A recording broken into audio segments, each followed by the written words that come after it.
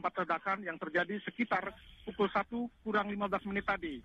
Sejumlah aparat kepolisian yang langsung mendatangi lokasi kejadian sekitar 10 menit setelah kejadian sampai saat ini belum berani memasuki uh, gedung dua gedung yang sebut masih terjadi. Uh, pemirsa dapat juga kami laporkan dari lokasi kejadian beberapa korban telah dievakuasi keluar keluar dari kedua gedung tersebut. Demikian untuk sementara yang dapat ya, dilaporkan. Adhar, ya, uh, lokasi tepatnya bom meledak itu di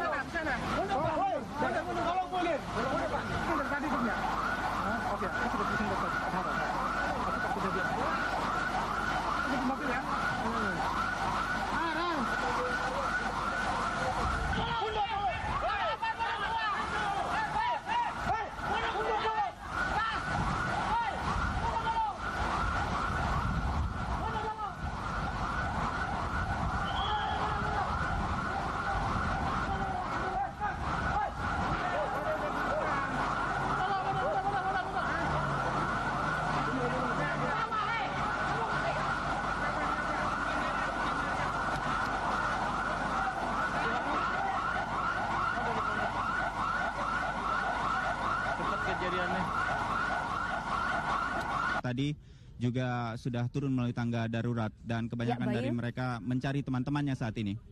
Ya, Bayu, apakah dari lapangan Anda bisa memperoleh uh, konfirmasi apakah ada beberapa orang yang menerima ancaman? Swedia dan juga kedutaan besar Cina, kedutaan besar Republik Rakyat Cina. Sampai saat ini Anda bisa menyaksikan di belakang saya masjid rumah sakit yang kemungkinan menjadi tempat di bawahnya para korban. Seperti saya katakan di laporan sebelumnya melalui telepon tadi, bahwa banyak saksi mata yang melihat korban segera dibawa setelah ledakan terjadi dengan sepeda motor, dengan kendaraan dibawa oleh masyarakat yang membantu. Kemungkinan adalah ke rumah sakit MMC di Kuningan dan juga rumah sakit Jakarta yang tidak terlalu jauh dari lokasi kejadian.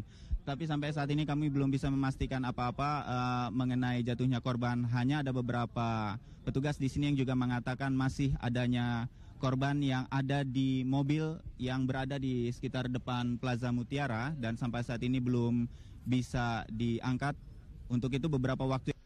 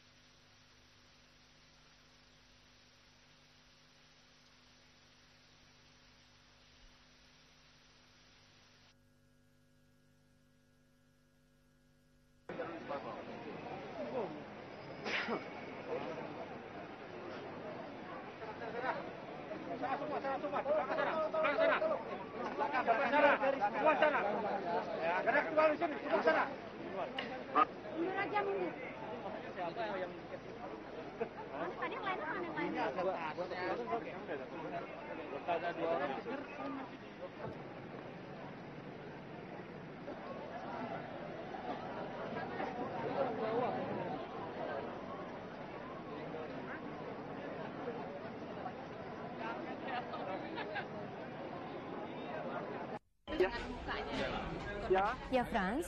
Ya, Pak. Uh, jadi sekitar 48 korban telah dirawat di rumah sakit ini yang rata-rata mereka mengalami luka luka akibat kebakar dan pecahan kaca. Jadi sekitar orang beberapa orang juga saat ini sedang dioperasi di lantai dua dan sebagian besar uh, yang luka ringan ada yang sudah dibawa ke, uh, pergi sama keluarganya. Namun ya, Frans, di rumah, ya, ya Frans, ya. tadi Anda sampaikan ada 48 orang luka-luka. Ya, Sampai betul. saat ini jumlah korban itu masih simpang siur. Ya. Apakah ya. sudah uh, disampaikan juga ada laporan resmi tentang jumlah korban yang meninggal? Uh, korban meninggal di rumah sakit belum de, dipastikan. Namun da, da, dari data papan yang tertera adalah 48 orang sudah tercatat masuk di rumah sakit ini. Dan ini merupakan kerja keras bagi para tim medis rumah sakit uh, Jakarta karena rata-rata paling banyak kemungkinan besar korban banyak dilarikan ke rumah sakit ini karena lebih dekat lalu lintas yang cukup uh, padat gitu. Ya baik, ya. Frans Sambudi dari Rumah Sakit Jakarta. Terima kasih.